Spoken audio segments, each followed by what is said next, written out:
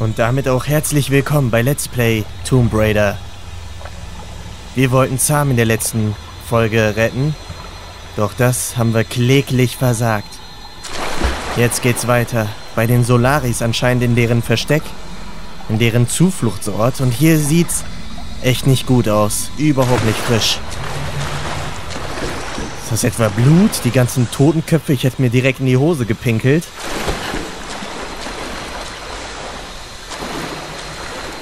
Oh, scheiße.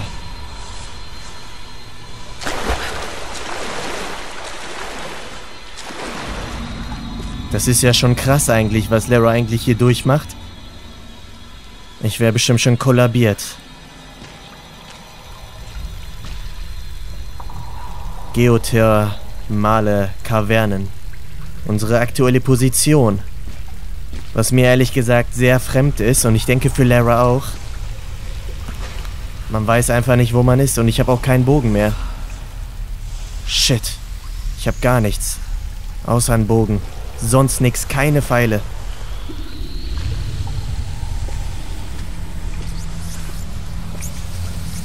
Wenn man vom Teufel spricht. Geht ja, drei Pfeile.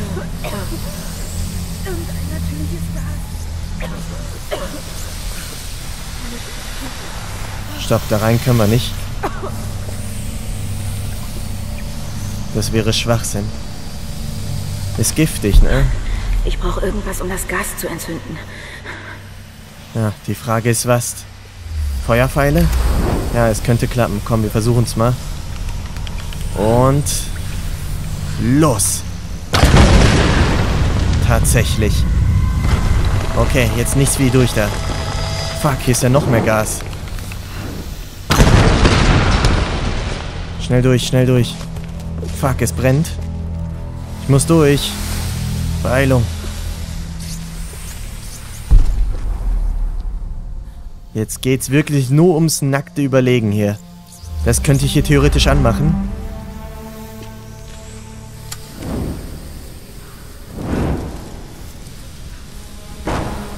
Etwas zum Transferieren. Zack. Bergungsgut. Und hier kann ich wieder was untersuchen. Ein Buch wieder. Alter, schaut euch mal Lara an. Wie krass. Jeder neue Bruder bekommt eine Arbeit, eine Aufgabe bei den Solari. Solange Matthias seine spirituelle Verbindung zur Sonnenkönigin unter Beweis stellt, werden sie ihm gehorchen und glauben. Die Initiation in die Bruderschaft ist brutal. Wir müssen ihre Menschlichkeit ausradieren, damit sie unmenschlich handeln können.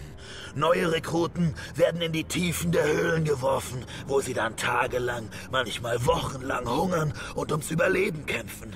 Wer lebend wieder herauskommt, wird mit offenen Armen aufgenommen. Ich weiß nicht, mit was für einer Macht Matthias Verbindung hat, und es interessiert mich auch nicht mehr.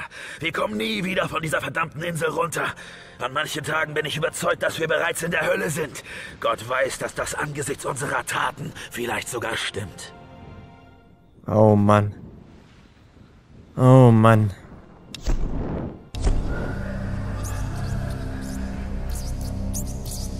Hier sind noch Pfeile. Dankeschön, kann ich immer gut gebrauchen. Und ich frage mich wirklich, was das Ganze hier eigentlich sein soll. Vielleicht können wir uns skillen, aber ich glaube, das ist eher unwichtig. Wir gehen mal weiter. Mal sehen, was wir sehen. Vielleicht schaffen wir es noch, Sam zu retten. Ich weiß es aber nicht. Ich hoffe es.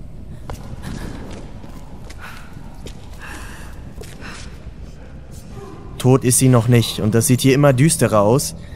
Die Atmosphäre ist sehr trist und ich denke, da so fühlt sich nämlich auch Lara.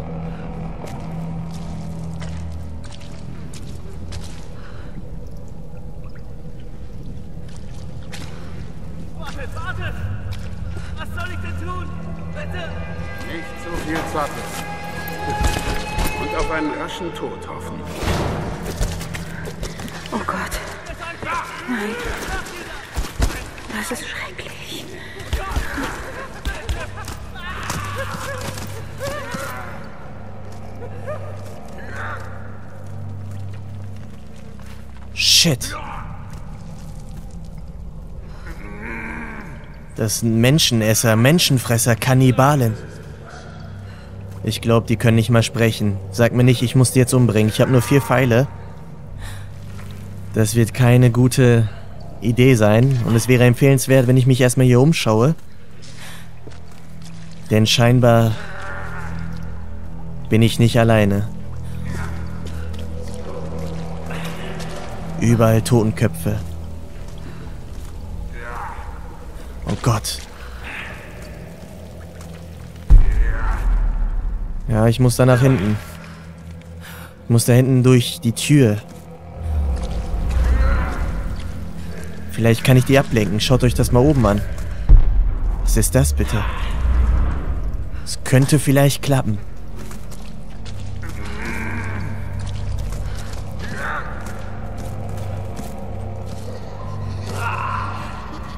Normalerweise ist das ja so, dass man hier eher eine Spinne oder so hat.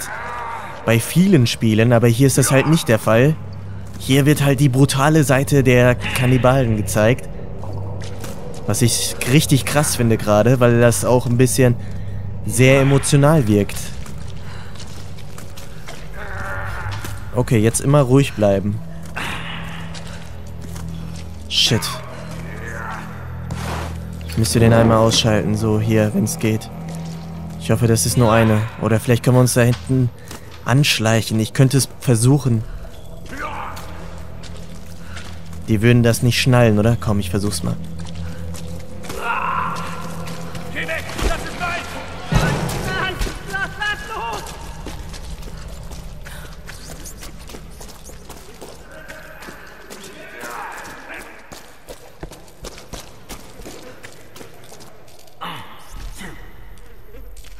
Wo sind die jetzt hingegangen? Warum ist der eine weggerannt? Ist er dumm oder so? Er rennt einfach weg. Na, das ist natürlich Vorteil für uns. Dann beeilen wir uns schnell.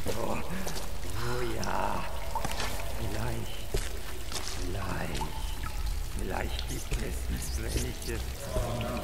Wer ist da? Wer, wer bist du? Noch mehr essen. Mehr essen. Vielleicht. Die Herren. So freundlich heute. Mehr essen. Frau.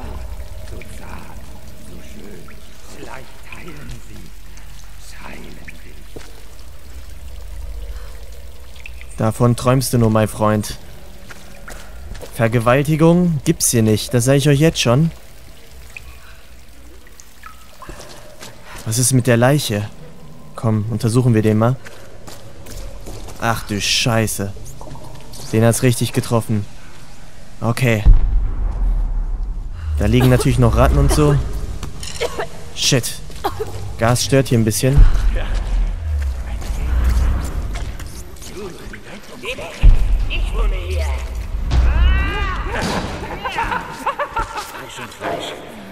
Alter Falter. So süß.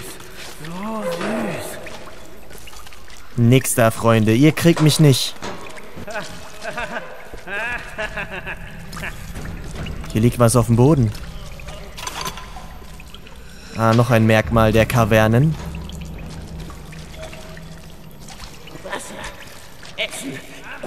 Nix da, mein Freund. Tut mir furchtbar leid, ich musste das tun. Entschuldigung.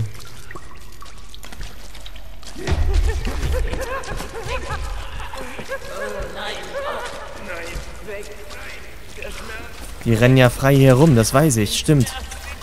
Wo ist der überhaupt? Ich glaube, wir sollten hier erstmal keine Zeit mehr verschwenden. Gehen wir mal hier direkt durch. Hier ist noch dieser Ventil, den ich hier, glaube ich, drehen muss. Komm schon. Ich bin zwar kein Klempner, aber das sollte klappen. Oh, scheiße. Okay. Dann lassen wir das eben platzen. Und zack. Das hat funktioniert. Schnell durch. Acht Pfeile. Fuck.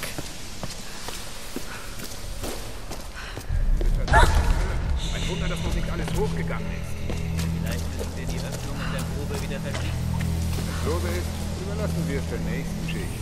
Hey, lass uns nicht zu lange Zeit. Ich will weiterspielen.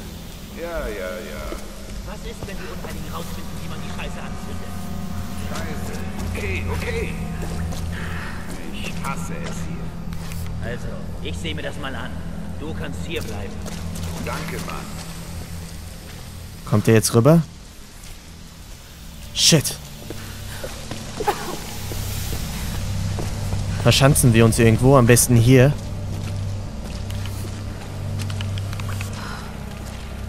Shit.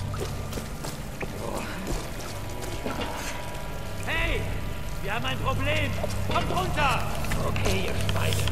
Dafür werde ich euch bestrafen. Ruhe. Fuck, wir kriegen Besuch. Aber ich habe eine besonders gute Idee, nämlich das hier. Zack. Haha. Schön Gas, lasst es euch schmecken. Jetzt geht's los.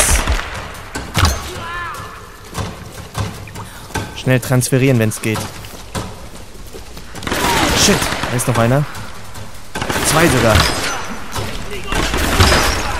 Fuck, die haben sogar eine gute Rüstung. Und Gasmasken. Weil sie wissen, dass sie sonst sterben würden.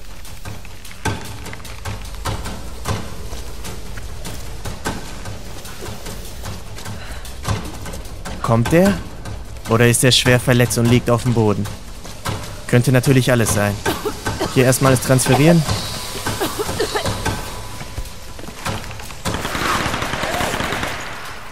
Nix da, mein Freund.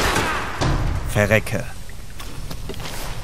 Bis dann im Jenseits. Vielleicht sieht man sich ja bald. Dort, wo deine anderen Freunde warten. Unglaublich, die Atmosphäre. Wirklich, also... Wie findet ihr das eigentlich? Also das Game ist pures Survival, wirklich für mich. Also ich habe in meinen Augen... Oh, was war das jetzt? Eine Pflanze, cool.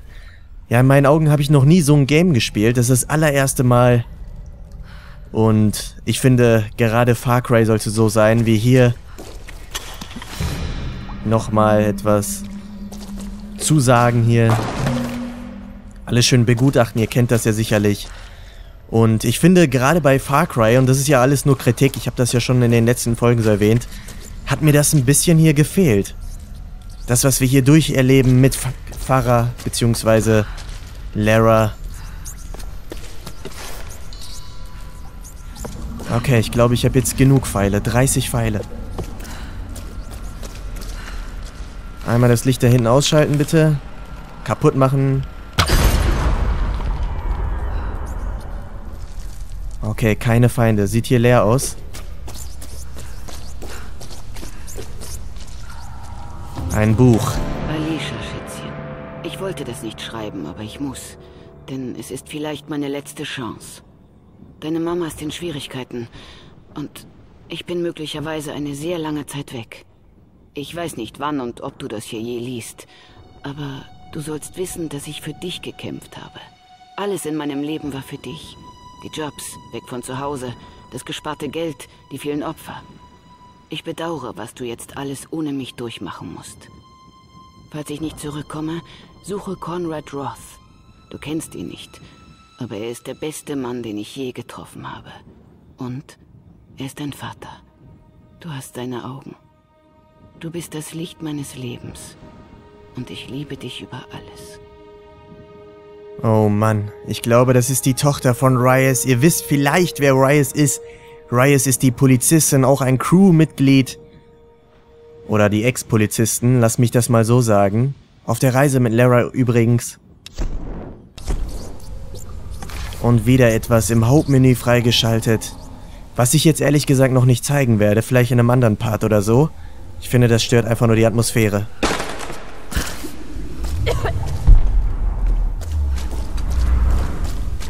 Eine Truhe, mehrere Truhen. Ich bin süchtig danach. Und hier kann ich scheinbar vielleicht das hier benutzen, ne? Es ist hier defekt. Shit, ich muss hier irgendwie durch. Die Frage ist wie. Oben entlang, oder? Was ist denn hier bitte? Oh, noch ein Ventil, komm. Och nein. Nicht das schon wieder. Aber wir wissen ja, was wir machen müssen. Und... Zack.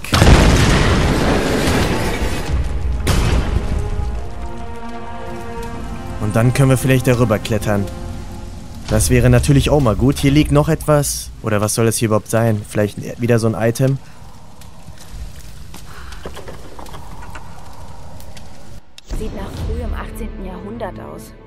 Ich erinnere mich, dass schwarze Seidenfächer bei Begräbnissen bedeutender Adliger benutzt wurden. Oh ja, bedeutender Adliger. Ist ja hier auch eigentlich alles ein bisschen asiatisch. Reliquienansicht, oh Mann. Nicht unbedingt interessant eigentlich für uns. Okay, und jetzt weiter. Darüber und dann irgendwie über den Weg. Was ist eigentlich damit? Was ist, wenn ich hier drauf schießen würde? Was würde passieren? Versuchen wir es. Nichts.